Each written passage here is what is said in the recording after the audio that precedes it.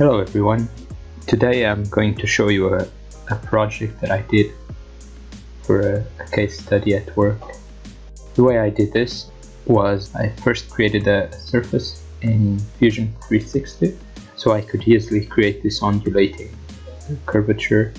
Then I brought this I brought the Fusion model into Revit and created the adaptive components in Revit that attach to the Fusion surface. These adaptive components work on two surfaces, a bottom and top surface. This is all made of one single adaptive component panel. That this panel changes from an opaque panel to a fabric material with some transparency on it to completely transparent as glass.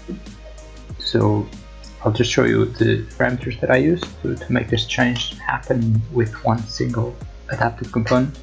So if I select one of these panels and select edit family, you can see that uh, this panel uh, its adaptive is hosted on eight adaptive points. That, that attach to the top and bottom surface. And there is this one on top. It's actually another family we can edit. And in this family I just created I've extruded the panel four times. And for each one of these I've assigned a visibility parameter and a material parameter that gives you the four different parameters that I would want. And right now I'm only using three. One is the opaque one the fabric one and the glass. So then I, I loaded it into this project and I, uh, I've used these parameters uh, as well.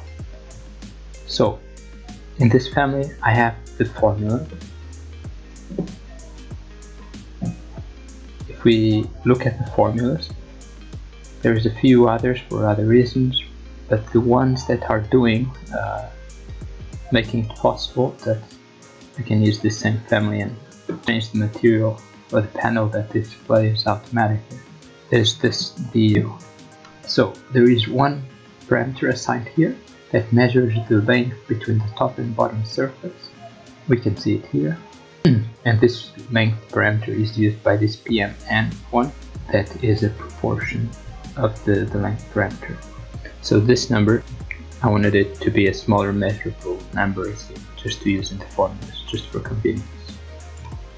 So what I did here, I've assigned the material 1, 2, and 4. Uh, I stopped using the number 3.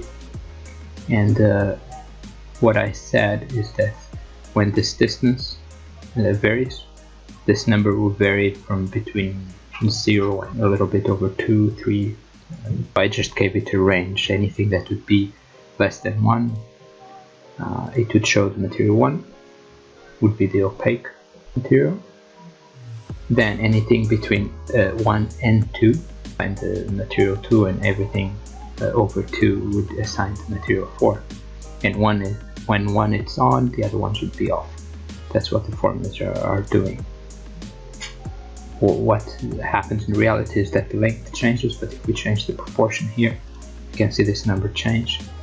Uh, so if we change it to a bigger number you'll see it went to 1.3 1.3 is between 1 and 2 so this will be the visible panel and the other ones keep uh, keep invisible if I divide this by a bigger number it would be less than 1 so it would assign the first parameter.